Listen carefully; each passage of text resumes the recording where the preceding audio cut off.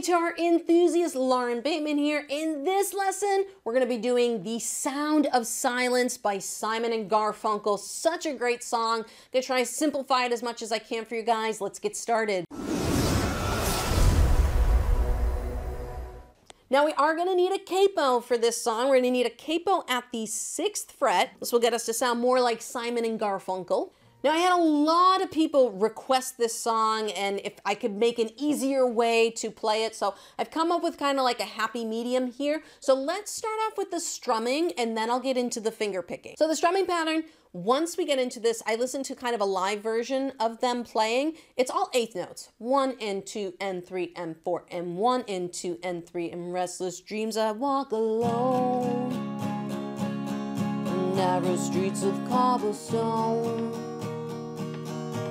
the hill above a street lamp. Okay, so it's just all eighth notes. One and two and three and four and down, up, down, up, down, up, down, up. Okay, so the strumming for this is simple. So if you don't want to do the finger picking at all, though I recommend maybe just trying the intro that I'm going to show you in a little bit because it does make it sound cool like the song. Um, you can just stick with the strumming and that will get you through the entire song in a very, very simplified way. But if you do want to spice it up and you want to do a little bit of finger picking, let's get into how we're going to do that next. So the first thing I'm going to do is show you the intro, and this is the actual intro. All we're going to do is we're going to play the second fret on the G string, okay? And we're going to use our thumb and our first and second fingers. The first finger owns the second string, the, the second finger owns the bottom E string, okay? So it's going to be, as long as you're fretting the second fret on the G string, I'm just going to tell you the strings. It's going to be string three, one, two, one, three, one, two, one, three, one, two, one. Okay, and your fingers are thumb two, one, two, thumb two, one, two, thumb two, one, two, thumb two, one, two. Super cool. This song is so awesome. Thank you forever, whoever requested it. I love it. I know a bunch of you did, so thank you. Now, that's going to be our intro, and we're going to do that three times. That's one. That's two. That's three. And we're to end by strumming an A minor chord. So I know some of you guys are to ask me, Lauren, I was just finger picking. How do I go from strumming, you know, finger picking to strumming? I don't have a pick. Well, when I strum, this strumming pattern is to be down, up, down, up. We're to strum down with our thumb, up with our index finger. Okay, down with the thumb, up with the index finger. That's what we're gonna do when we go from finger picking to strumming when we don't have a pick in our hand. So for this song, the first verse is usually finger picked, and then the second verse we start the strumming, and then some finger picking comes in later, and we'll talk about that when we get there. So let's go over the, the chord progressions first, okay? If you, if you need to pull up the chord chart, I'd recommend it for this one. Go to my website. I'll put a link in the description below. You guys can find that. Pull it up side by side. But the chords, we have a double G, double A minor, we have F and C splitting a measure followed by a full measure of C. Then we have F and C splitting a measure followed by a half measure of C. They do this every once in a while, so you have to be careful with the timing and your counting in this. So briefly, what does that mean? That just means a half measure of C. It's just that C is not four counts. It's only going to be two counts, okay? Then we get back into the vision that was planted in my brain. We have a double F, and then we have a C chord, and I'll give you with the option for adding a walk down on the end of that C chord. And then we have an A minor chord, then an A minor chord that's only a half measure, two beats, and then we have G, and then we have double A minor. So how are we going to get through this? I'm going to show you. So you know, when, when they're playing, they're varying up the picking pattern. It's not the same all the way through. I'm going to give you guys a picking pattern that you can use all the way through that I think will make this song sound great and it will simplify it for you guys. So let's get into that. So what I'm gonna be doing is we're just gonna be playing the tail end of like a Travis picking pattern. Now people are gonna ask me, Lauren, could I tra just Travis pick this song? Absolutely, you can Travis pick the song. If you don't know what Travis picking is, I'll put a link to my video up there. You can go check that out after this. But we're just gonna be playing a repetition of four notes over and over again, but it's going to sound great, trust me. So for chords like C and A minor, which are only five strings, we're going to be alternating our thumb between the bass notes on strings five and string four.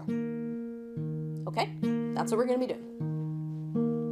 On chords like G and F, we're going to be alternating between the sixth string and the fourth string. So as long as you are playing the chord correctly, you won't have to worry about what frets you're playing. You'll just need to know what string you're playing and what finger. So if we start with this uh, G chord, let's start with the G chord because that's the first one in here. Hello, darkness, my old friend. The first finger is going to be owning the third string. The second finger is going to own the B string, the second string, okay? And the pattern is going to be thumb, two, thumb, one, okay? Sixth string, second string, uh, fourth string, third string. Okay, so if you know Travis picking, you know that this is just the last four notes of that Travis picking pattern, and we're just gonna play those over again, all right? So that was your G chord. A minor, we're gonna go fifth string, second string, fourth string, third string.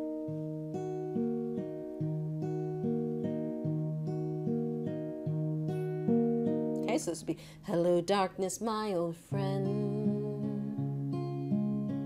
I've come to talk to you again. Sounds, see, it sounds nice. I promised you it would sound nice. So this next part, I'm gonna tell you what we're gonna do. We have a split measure here, so we have F and C. So we're only gonna do that pattern, instead of doing it twice, because twice gets us one full measure, we're only gonna do the pattern once. F, it will be played like a G chord, and then right into C, okay? And then this one, we have a full measure of C after it. And then we repeat F, one pattern, C1 pattern, and then C1 pattern again. And then we have two measures of F.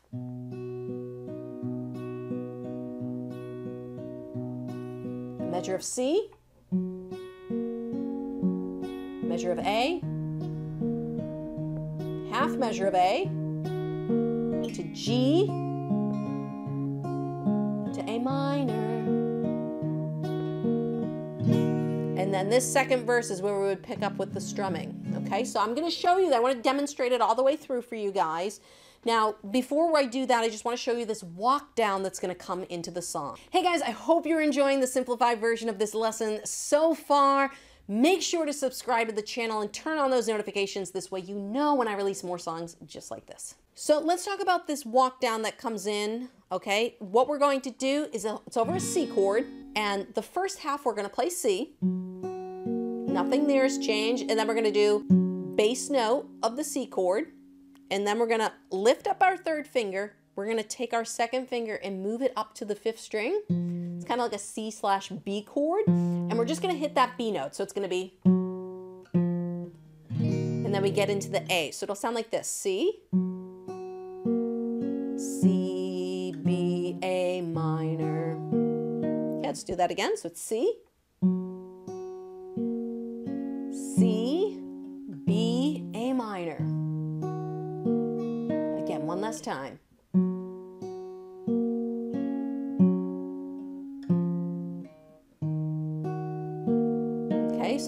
That's where that walk down comes in. So on the demonstration I'm gonna do right now, I'm gonna play it through so you guys can hear it. So listen the first time and then back it up and then try playing along with me, okay? So I'm gonna start with Hello Darkness, my old friend, and I'm gonna use the walk down. Hello darkness, my old friend. I've come to talk to you again because a vision softly creeping. Seeds that I was sleeping, and the vision that was planted in my brain still remains within the sound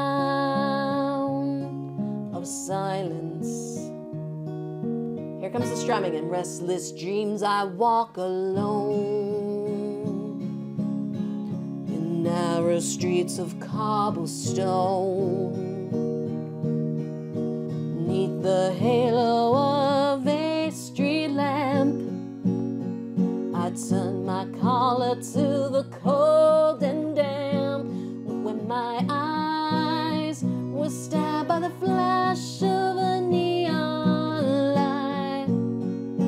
split the night and touch the side.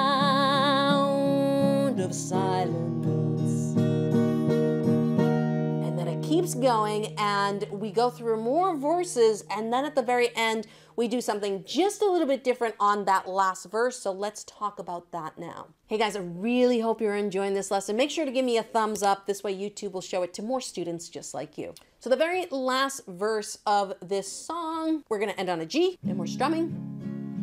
And then you can either strum an A minor chord or you can go back to whichever suits you, whichever you think is nicer.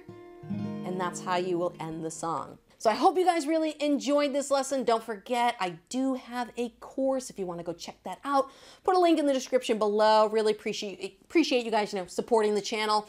YouTube's going to throw a couple more videos up over here. Go check those out and hope to see you guys in another lesson video.